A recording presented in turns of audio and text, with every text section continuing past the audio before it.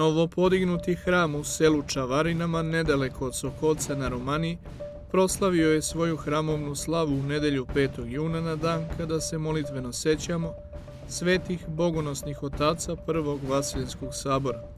Tim povodom svetu arhijerijsku liturgiju služio je njegovo visoko preosveštenstvo, mitropolit Dabrobosanski gospodin Hrizostom, koji u svojoj besedi naglasio da je veoma bitno da se setimo tih 318 svetih i bogonosnih otaca koji su veru utvrdili, ali su utvrdili crkvu na način da je do danas ostala nepokolebljiva u veri i ispovedanju, upravo zato što je kroz nju, odnosno crkvu Božiju Duh Sveti govorio i delao.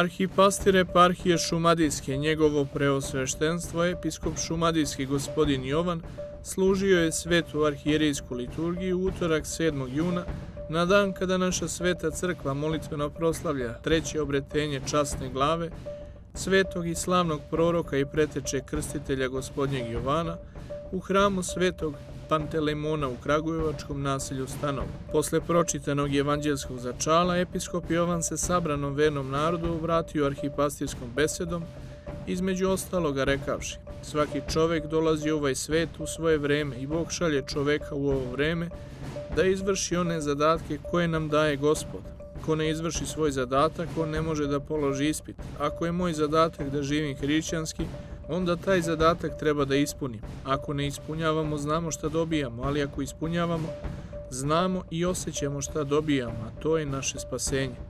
Posle svete službe, preosvećeni episkop je blagoslovio sabrani verni narod, podelivši im ikonice. Akademija Srpske pravoslavne crkve za umetnost i konservaciju je najavila da u saradnji uz podršku manastira Bođani i Pokrajinskog zavoda za zaštitu spomenika kulture iz Novog Sada 16. juna u pomenutom manastiru organizuje međunarodni simposion na temu Crkvena umetnost i savremeni tokovi. Sa radošću obaveštavamo ljubitelje crkvene umetnosti da je izašao novi broj časopisa za negovanje crkvene umetnosti Akademije Srpske pravoslavne crkve za umetnost i konservaciju.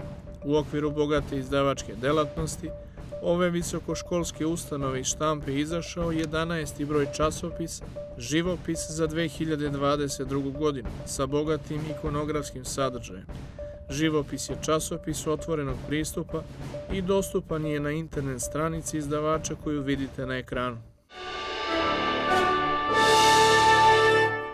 Vreme sutra delimično sunčano sa mogućim vremenskim nepogodama. Minimalna temperatura 17, maksimalna dnevna do 26 stepeni.